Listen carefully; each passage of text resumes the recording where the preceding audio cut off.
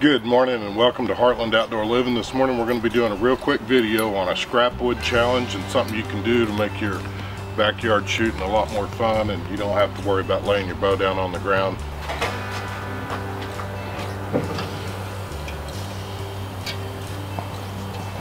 Again, this is all built with scrap wood and what it is is it's a bow caddy if you will and I'll kind of swing it around here and I'll show you guys some pictures of it but it's uh, will hold two bows and then the way I cut this down it'll actually hold like your glove or tab or whatever depending on what you shoot. And then it's got a little center cavity here where you can hold your arrows. And again essentially this is just uh, real quick. It's all made out of scrap wood.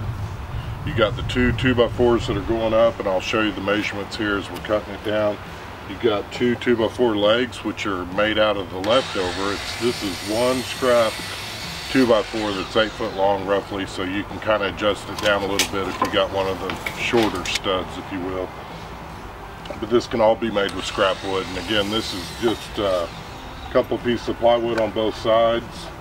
And then uh, that's pretty much it. I had two little pieces of cedar that was left over from a project and I just cut them down. I just kind of put a little wedge cut in them. I'll kind of show you this little wedge cut right here in the side just to make this a little bit thinner so you could hang a glove off. You could optionally also cut down some dowel rods and then just drill them into this upright two by four hold your bow and or gloves, tabs, whatever with that or you can do just like this with a regular 2x4 not cut it down or cut it down whichever you decide and then put a couple of dowel rods here. I did have a scrap piece of leather laying around so I used it for a strap for a handle so it makes it real easy to carry it. And uh, again this thing works really nice. I'll kind of show you real quick while I'm talking I'll kind of show you real quick just roughly how we put this all together and then after I put it together I painted it brown and then I didn't paint this since it's cedar. Cedar's supposed to be weatherproof if you will so it ought to last a uh, pretty good while even sitting outside. But this is something that's actually nice enough you could bring it right inside when you get done shooting or leave it outside.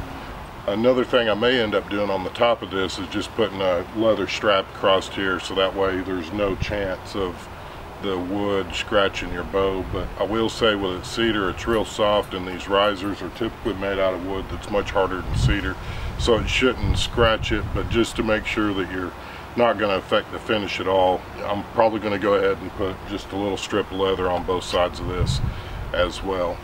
So again guys that's a real quick video this morning on something you can do to make your backyard shooting a little more effective. I, I get tired of laying my bow down on the ground and as you guys know, we do have dogs, so I don't really like laying my bow on the ground. It's, it's just, uh, this would be a much nicer way.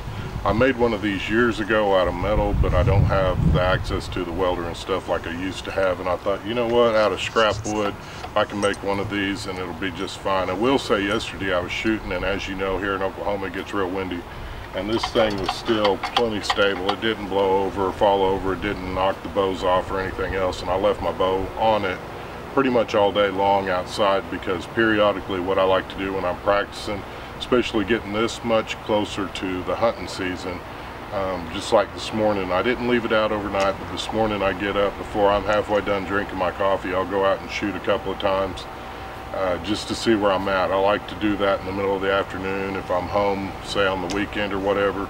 Just uh, look down at your watch, okay, it's time to go shoot. Fire off four, five, three, four, whatever you want to uh, arrows off in the backyard and just kind of test yourself, engage yourself, where are you at and where are you, what do you need to do to better prepare yourself for the upcoming season because as you guys know, when you're out in the field, and something walks up on you, you're not going to be able to dictate that time. You're going to have to go when it's go time. And I like the element of surprise sometimes. Um, like say, I'll, I'll, wake up from a nap and come out here or, or in between projects if I'm waiting on uh, something to dry or whatever else, I'll, I'll come out and shoot four or five rounds real quick.